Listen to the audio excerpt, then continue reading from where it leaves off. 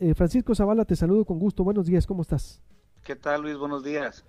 Eh, ¿Cómo interpretar la salida de Guillermo o Padres, eh, estimados, desde el punto de vista legal?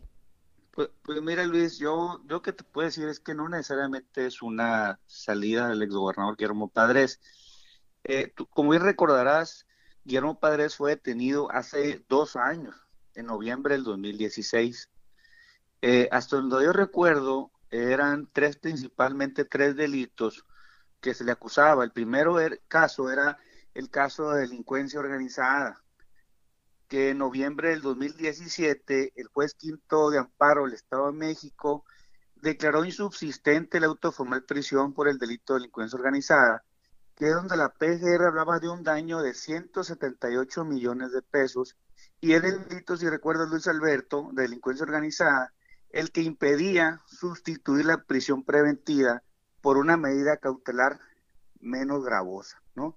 Hago un paréntesis, Luis Alberto, para los para el auditorio, que a Guillermo Padres eh, le hagan sustituido eh, la medida cautelar de prisión preventiva a una posible libertad este, bajo caución o bajo fianza o bajo una garantía económica, no quiere decir que sea inocente o sea culpable. Lo único que nos lleva esta medida cautelar es que lleve eh, su, su, proceso eh, fuera de prisión. Luego, haciendo esta cronología, Luis Alberto, entra el caso de lavado de dinero, que en agosto del 2018, el juez decimosegundo distrito de procesos penales, eh, por una presunta defraudación de 70 millones de pesos, el día 16 de agosto se le concedió también a Padres, como en esta ocasión en noviembre, la sustitución de la prisión preventiva por una medida cautelar menos gravosa. ¿Ok? Eh, en esta ocasión se le impusieron también medidas cautelares, como fue la condición de la entrega de su pasaporte, la prohibición de salir durante, durante el país, durante el proceso, y el pago, ojo, de una garantía de 100 millones de pesos. Hasta donde yo sé, eh, los abogados de Guillermo Padres impugnaron esta garantía económica por considerarla exorbitante. Y luego, siguiendo esta cronología, Luis Alberto, tenemos el caso, el presente, el caso de defraudación fiscal, donde el juez séptimo distrito de procesos penales, eh, por, una, por una garantía de, impone una garantía de 40 millones de pesos así como unas medidas cautelares menos gravosas que la prisión preventiva, te repito, de presentarse 15 días, durante cada 15 días al juzgado firmar su libro de procesados, la prohibición de salir del país también y una colocación de un, localizador electrónico, ¿no? Entonces, si te fijas, Luis Alberto, eh, no es que, el, que, que el gobernador le hayan otorgado la libertad, únicamente podrá llevar su proceso fuera de prisión. Aunado a que el 20 constitucional, Luis Alberto, te dice que cuando estás en prisión preventiva, te tendrán que dictar sentencia también en dos años, ¿no? Ah, en dos años, entonces esperaría también como otro máximo para que se dicte, dicten sentencia. Sí, pero no sé, no, no, no sé, como no se dictó sentencia, entonces aquí como yo no conozco el asunto de fondo, Luis Alberto, hay tres cosas que te quiero destacar. Número uno, que van más de dos años y, no se le ha dictado una sentencia. Número uno. Ok. Número dos, eh, estos dos casos que te dije, los dos últimos, el caso de lavado de dinero y el caso de defraudación fiscal, eh, en los dos interpuso un incidente no especificado para conseguir esa libertad apegándose a un beneficio. ¿Para, ¿Para qué? Para que le dieran una medida cautelar menos gravosa que la prisión preventiva en virtud de que estos dos asuntos o estos dos delitos más bien, eh, como no, ser, no son delitos de alto impacto de acuerdo al 19 constitucional, como si era el de la delincuencia organizada, él puede seguir eh, el proceso en libertad, Luis Alberto. Eh, estos dos asuntos, también te repito, tiene como punto de partida la constitución, se recordará la constitución de una empresa en Holanda de nombre Dolpinus, si recordarás, donde eh, se escondían sobornos presuntamente desde el 2011 con el empresario Mario Humberto Aguirre Ibarra. Entonces, por eso, a lo que voy, eh, Francisco, Padres dices, no es libertad, tiene que llevar el proceso fuera de prisión. No la ha librado, es lo que me quieres decir, eh, se le puede condenar, se le todavía estaría pendiente que se le dicte una sentencia definitiva. No, no, por supuesto, Luis Alberto.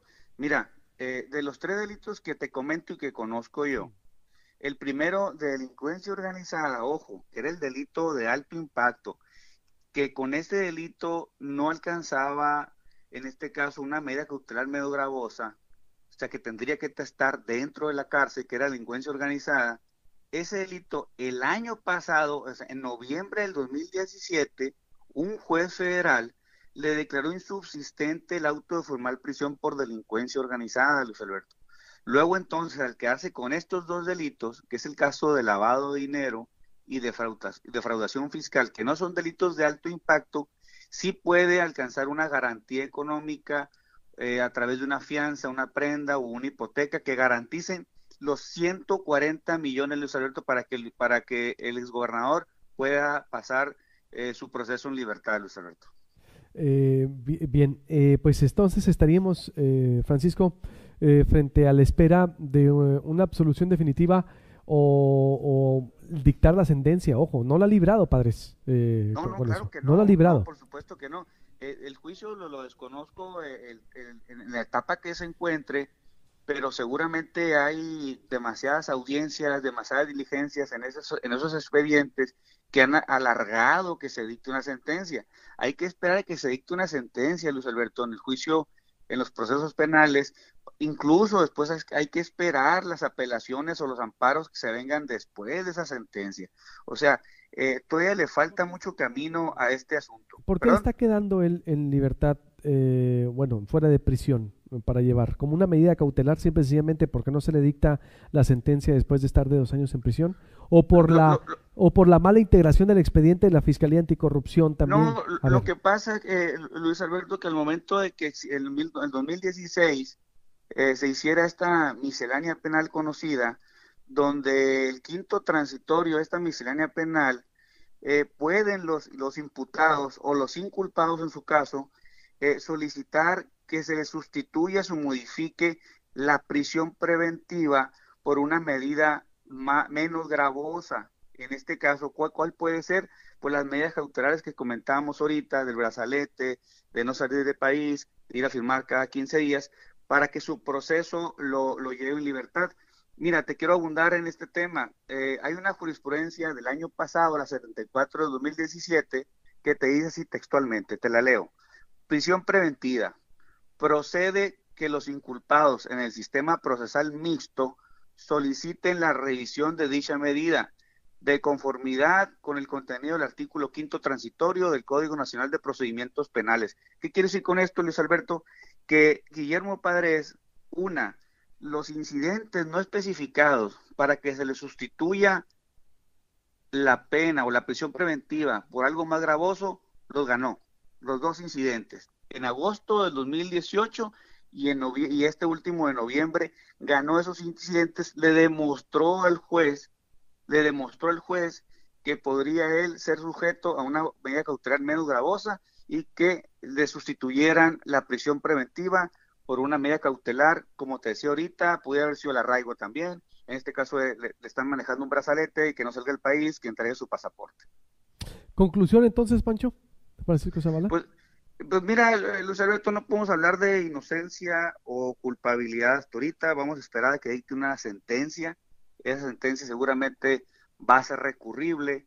Eh, la verdad no sé en qué etapa se encuentre del juicio todavía este, procesado eh, Guillermo Padres. Entonces, habría que esperar a que se dicte sentencia, Luis Alberto. El tema, pues lógicamente se vuelve un tema político. ¿Por qué? Porque es un político en prisión entonces esperaríamos a que las autoridades jurisdiccionales dicten las sentencias para tomar otros análisis, Luis Alberto. Dicen dos años, máximo.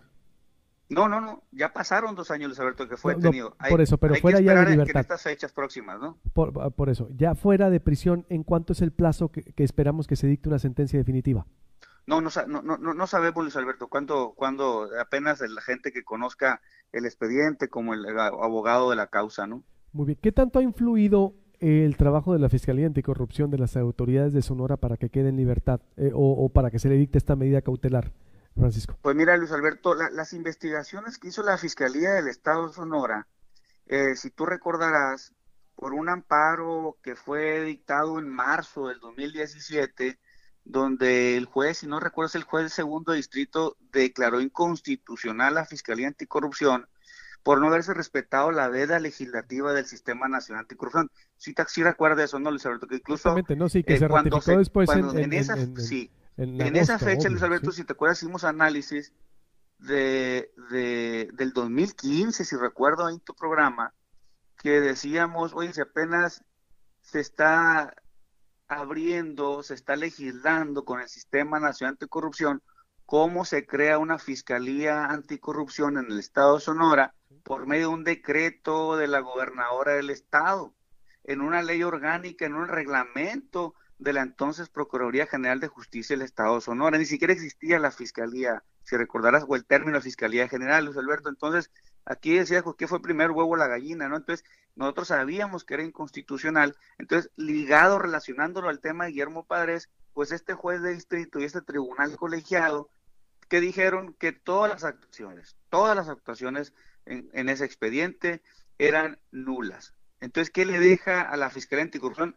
Ahora sí, que, está relacionada con la Fiscalía General Anticorrupción, pues que empiecen a investigar de nueva cuenta, ¿no? Y habría que ver cómo quedan las garantías o los bienes incautados de Guillermo Padres por la Fiscalía General de Justicia del Estado, Sonora Luis Alberto. Eh, muy bien, eh, pues eh, aunque ya debería ser la Fiscalía de Justicia, ¿no? No la Fiscalía Anticorrupción la que debe de investigar el caso. Pues acuérdate que, que, acuérdate que los diputados enmendaron la plana, Luis Alberto, a la, a la, ahora sí que al decreto que hizo la gobernadora en el 2015 y crearon la Fiscalía General de Justicia y crearon una nueva ley orgánica de la Fiscalía General de Justicia y crearon, ahora sí, derivado del Sistema Nacional Anticorrupción y del Sistema Estatal Anticorrupción, la Fiscalía Anticorrupción de nueva cuenta, ¿no? Muy bien. Te agradezco mucho, Francisco. Y estamos en contacto como siempre. Un abrazo por allá y cómete una asesina de mi parte. Órale, lo haremos, a ver, a ver si podemos. Gracias.